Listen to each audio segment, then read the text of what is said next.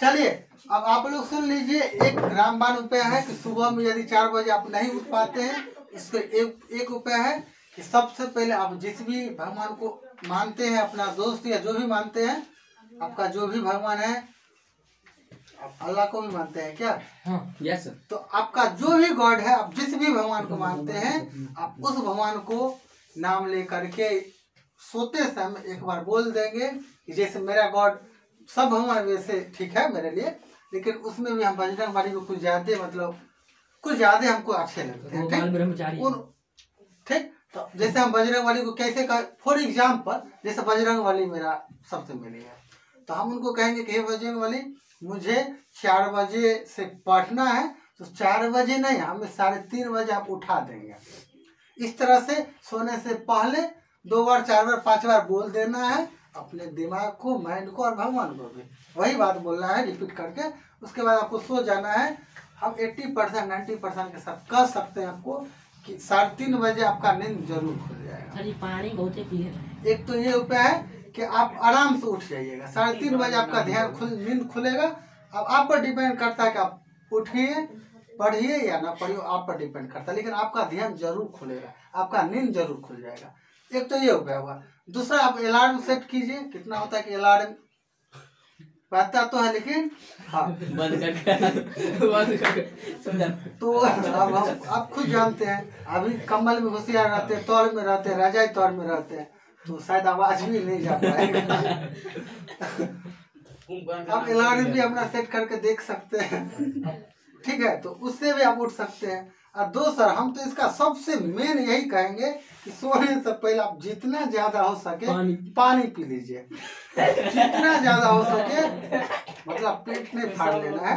जितना ज़्यादा हो सके आप एक गिलास दो गिलास।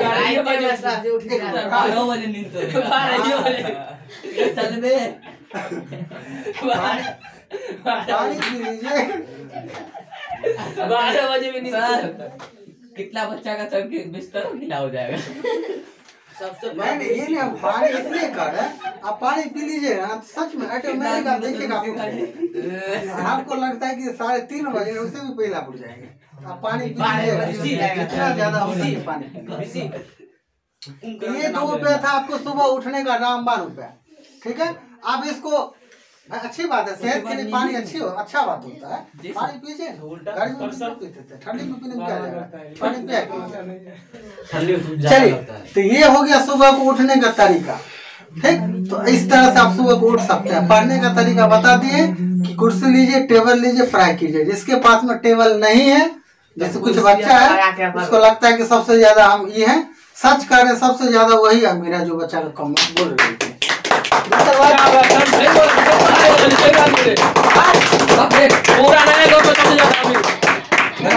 कितना दूर में सबसे ज़्यादा वही हो आगे बढ़ते हैं अब सुनिए। तो टेबल कुर्सी में पढ़ाई करना है सबको बैठ करके।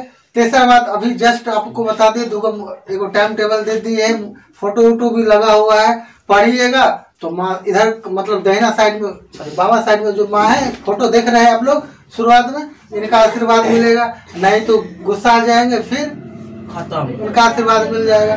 तो ये बात है वो आप। और कब क्या कैसे पढ़ना है टाइम हम दे दिए हैं कौन सब्जेक्ट कैसे पढ़ना वो आप लोग डिसाइड कर लेंगे कि आपका कौन सा सब्जेक्ट वीक है। ठीक है? कौन सा विषय आपको कमज़ोर है। जैसे में रिज़ल्ट के अनुसार मुझे लग रहा है कि सुबह वाला जो टाइम है चार से छह बजे तक दसवीं का विद्यार्थी को पढ़ना चाहिए। साइंस। क्या पढ़ना चाहिए? साइंस। लिखो ना साइंस तू सब लिखो ना। दसवीं के विद्यार्थी को पढ़ना चाहिए मेरे हिसाब से। बाकी आप पर डिपेंड करता है कि आपको मैथ पढ़ना तो मैथ पढ़िए कमज़ोर है तो मैथ ही पढ़िए वो आप सोचिएगा फ़िलहाल चार से छह में क्या पढ़ना है आपको? साइंस पढ़ना है। ऑफलाइन के बच्चों को हम कह रहे हैं क्या पढ़ना है? साइंस पढ़ना है। बाकी क्वेश्चन आना है टाइम टेबल पता है। फिर